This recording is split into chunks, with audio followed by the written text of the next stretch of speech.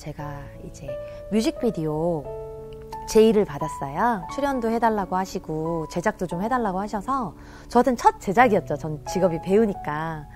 근데 어 이게 우연은 아니겠다. 하나님 섭리 가운데 뭔가 있겠다. 그래서 어, 알겠다고. 근데 자유롭게 해달라고 하셨어요. 작곡가님께서 그림으로 해도 되고 글로 써도 된다고. 그래서 그때부터 기도하기 시작했는데 이스라엘 성지에 가서 그 하나님을 좀 찬양하고 싶고 하나님의 성지를 통해서 그 발자취를 실제로 보고 싶다는 마음이 들었어요. 그래서 아 그거를 나만 할 게 아니라 많은 사람들에게 뮤직비디오라는 형식을 통해서 더 친근하게 볼 수 있도록 하자.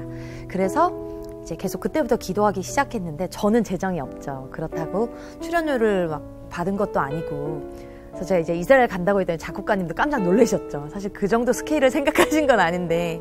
근데 그때부터 이제 기도하기 시작했는데 놀랍게 하나님이 정말 사방에서 돕는 손길을 보내주셔가지고 이스라엘에 현재 600명 정도의 한국인이 산대요. 근데 그 중에 한 명만 카메라를 직접 이렇게 만질 줄 안다고 하시는데 그분이 연결이 된 거예요. 그래서 그분을 연결해 주셔서 항공, 뭐 숙박, 그리고 뭐 차량 뭐 왔다 갔다 하는 거라든지 거기서 식사라든지 이런 것들을 다 해결해 주셨어요. 그래서 2주간을 가서 어, 일주일 동안 촬영을 하고 나머지 일주일 동안은 거기를 돌면서 계속 기도하고 하나님을 묵상하고 그랬는데 그때 촬영을 하고 있는데 꼭 어, 바람이 불어야 되면 이스라엘이 그때 너무 더울 때라 바람이 잘 안 부는데 나무가 흔들릴 정도로 바람이 부는 거예요.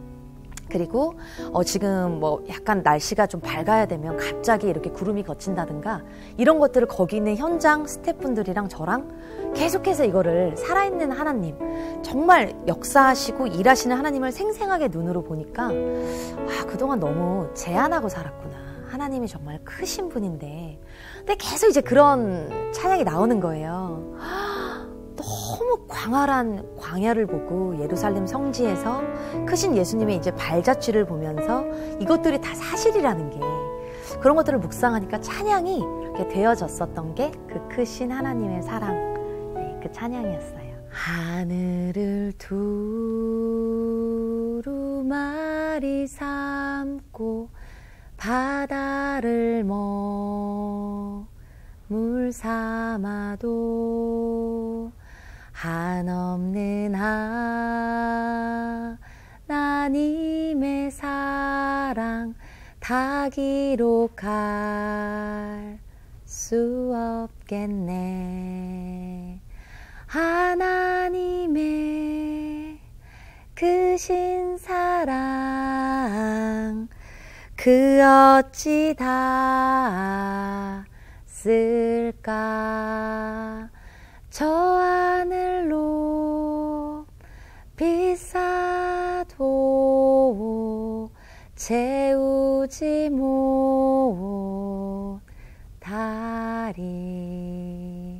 하나님 그 신사랑은 증량 다 못하네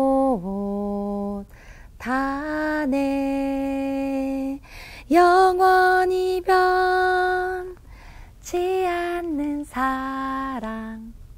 성도여 찬양하세. 저는 어, 찬송에 대해서 항상 우리가 힘든 상황 가운데 많이 이렇게 부닥치잖아요. 직면을 하고 하나님을 우리가 믿고 그분의 자녀라고 해서 힘든 일이 아예 없는 게 아니라 그런 일을 우리를 위해서도 허락하실 때가 있고 그런 일이 잠깐 있을 때 음, 분명히 우리가 이겨내야 되는 부분도 있고 살아내야 되는 부분이 있는데 그때 항상 진리의 말씀이신 그분을 잡았으면 좋겠어요. 네, 말씀 그것이 말씀인데 그 말씀을 우리에게 더 편하게 그분을 더 찬양할 수 있고 우리의 일상으로서 그분을 더 체험할 수 있게 해주시는 게 찬양인 것 같아요. 이 찬송을 통해서 우리가 계속해서 이 진리의 말씀을 붙들고 그분을 더 알아갈 수 있고 그분께 더 나아갈 수 있다면 사실 우리는 그렇죠. 힘든 일이 있을 때, 아, 힘들다. 뭐, 좌절할 수도 있고, 어, 뭐 고난 가운데 굉장히 빠져들 수도 있지만, 그때 담대하게 돌아서서 찬양을 하면서 하나님 앞에 담대하게 나아가는 것. 그것이 우리의 일상에 어, 정말 살아갈 수 있는 힘이 되지 않을까 싶습니다. 낮